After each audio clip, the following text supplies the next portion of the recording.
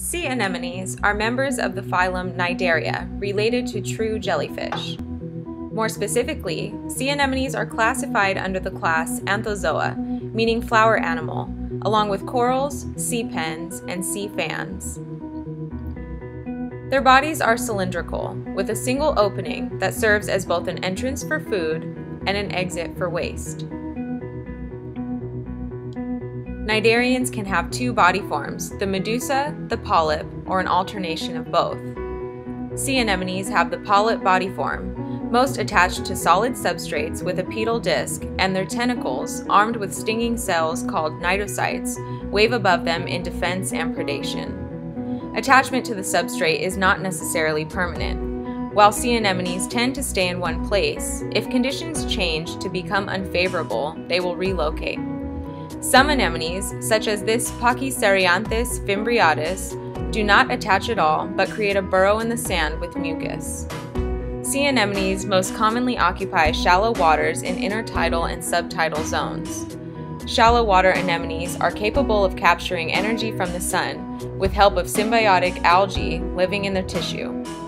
These tiny algae share photosynthesized sugars with the anemone in exchange for a protected living space with exposure to sunlight.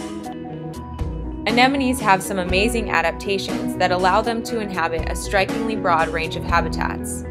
Some of them can even spend hours above water, exposed to the baking sun, without drying out. They survive by huddling in damp crevices. At greater depths beyond the turbulent surface, a more common strategy is suspension feeding. These Metridium giganteum have large bushy tentacles to sift small particles from the water. They can grow very large and are common even in polluted waters.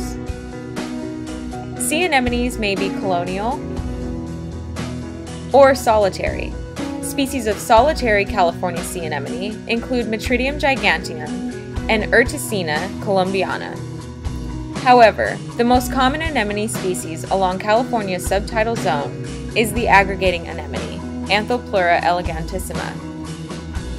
This species of sea anemone reproduces by a process called budding, in which genetically identical clones of the polyp are created. These clones can also be created by fission, in which the anemone divides into two separate individuals. Elegantissima can be seen here in the process of fission. Over time, this creates a colony of aggregated individuals. Elegantissima also reproduces sexually once a year by expelling sperm and egg into open water to be fertilized. In addition to Elegantissima, California is home to several exotic species of sea anemone, including Metridium senile, Corynactis californica, the strawberry anemone, and Anthopleura xanthogrammica, the giant green anemone. Sea anemones are not only diverse in appearance, but in feeding strategies and behavior. Photosynthesis by symbiotic algae is the primary source of nutrition for shallow water anemones, but an anemone is also capable of sustaining itself on the small invertebrates that are unfortunate enough to happen upon its stinging tentacles. Some species of fish, commonly called anemone fish, have evolved a protective layer of mucus that renders them immune to the sea anemone's sting. The anemone provides shelter from the fish's predators, and in exchange, the fish provides the anemone with food particles.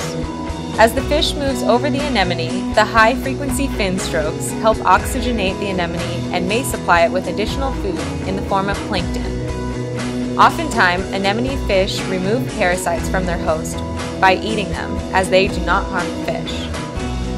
Another symbiotic benefit for the sea anemone is essential nutrient production in the form of anemone fish waste.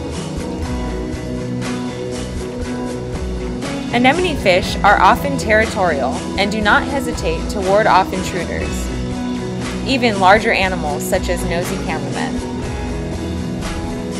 These flower animals can be found in every ocean and display a diverse range of feeding and reproductive strategies, body plans, and behaviors.